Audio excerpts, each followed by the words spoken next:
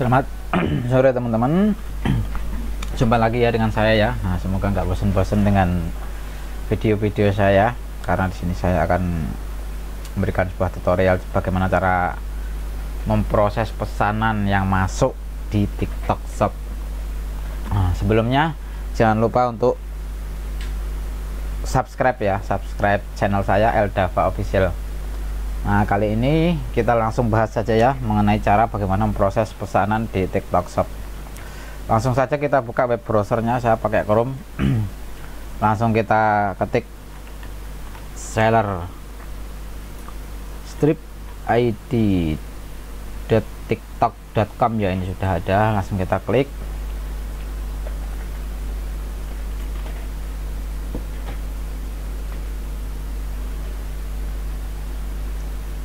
Nah, di sini ada tampilan utama ya. Di atas ini ada pesanan baru, ada pengembalian, ada stok habis, ada produk gagal dimoderasi. Nah, di sini ada pesanan baru. Nah, ini ada satu. Langsung saja kita klik.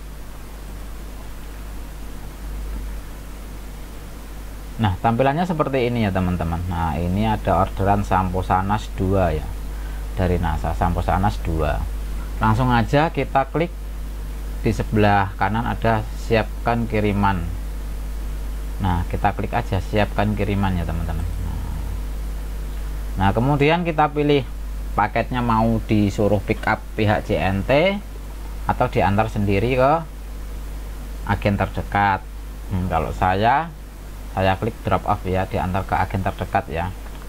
Nah kita klik drop off kemudian klik berikutnya. Kemudian klik konfirmasi. Nah setelah klik konfirmasi berhasil drop off berhasil diatur kita klik OK. Nah seperti ini. Kemudian setelah itu kita cetak label pengiriman ya temen ya. Cetak label pengiriman.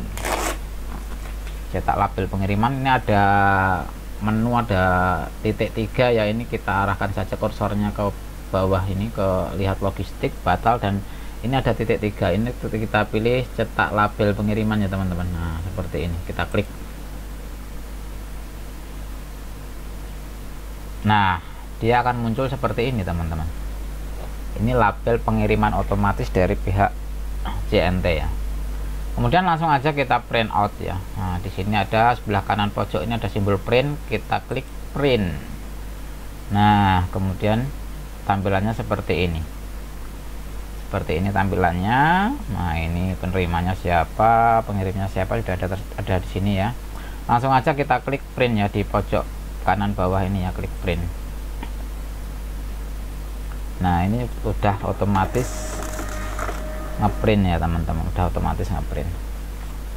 Nah gampang kan teman-teman? Nah, gampang sekali ya. Kalau udah tahu ya gampang. Kalau belum tahu ya perlu belajar seperti saya ini.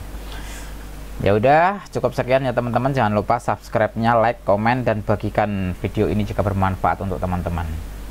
Cukup sekian. Selamat sore. Sukses selalu buat teman-teman